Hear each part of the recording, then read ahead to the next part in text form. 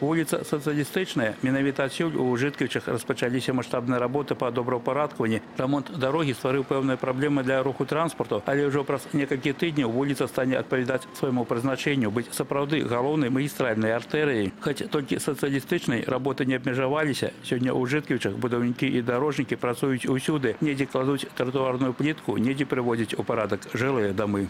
благоустройство дворовых территорий, ремонт э, фасадов жилых домов. Это текущий ремонт порядка 67 домов.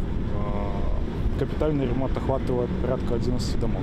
Для параўнання звычайна колькасць дамоў, дзе праводзіцца капітальны рамонт у горадзе прыкладна ў чатыры разы меншая. Хоць у парадак прыводзіць не толькі жыллё. Другая жыткаўская сярэдняя школа была ўзведзена ў 1959 годзе. Зараз гэта самы стары цагельны будынак сярод навучальных устаноў раёна. Яго закрылі па прычыне аварыйнага стану, але вырашылі захаваць. На месца нават будуць вернуты зробленыя амаль 6 десятгоддзяў таму ляпныя ўпрыгожванні. Капітальны рамонт павінен завяршыцца до конца года. И мы ожидаем к началу нового календарного года, это январь, наверное, да, ввод в эксплуатацию корпуса номер один, где расположено 10 кабинетов, здесь гардеробная, здесь находится актовый зал, столовая, поэтому он очень нужен для нас. Установам адукацыі ў праграме добрапарадкавання ўвогуле асаблівае месца. Рамонт праводзіцца ва ўсіх трох школах горада. Прычым у першай, апрача фасадных работ, пляцоўку для заняткаў фізкультурай замянілі на спартыўны гарадок з кутком юных інспектараў дарожнага руху. В спортивный городок будет вх- входить баскетбольная, волейбольная площадка, эм,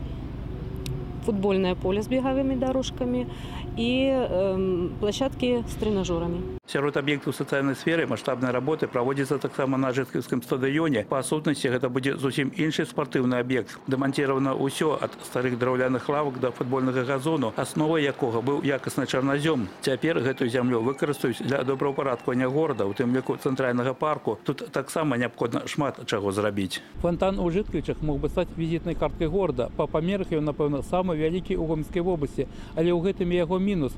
Рэканструкцыя патрабуе вельмі значных сродкаў. Хоць не ўсе работы праводзяцца выключна за бюджэтныя сродкі. Рэканструкцыяй некаторых аб'ектаў займаюцца ведомасныя арганізацыі. На жыткавскім аўтавакзале, напрыклад, не толькі ўцяплілі сцены і падвялі інжынерныя камунікацыі, але і прадугледзелі безбар'ернае асяроддзе для людзей з абмежаванымі магчымасцямі. Яшчэ адна катэгорыя, пажаданне якой таксама ўлічылі аматары лазні, жадаючых папарыцца шмат, але па прычыне аварыйнасці жытківская лазня не працавала ўжо амаль два гады. Праўда, падчас капітальнага рамонту будынак, узведзены яшчэ ў 1956 часткова страціць свае архітэктурныя асаблівасці, затое стане больш функцыянальным і рэнтабельным. Олег Сенцюроў, Валерый Гапанько, тэлерадыокампанія Гомель, Жыткавіч.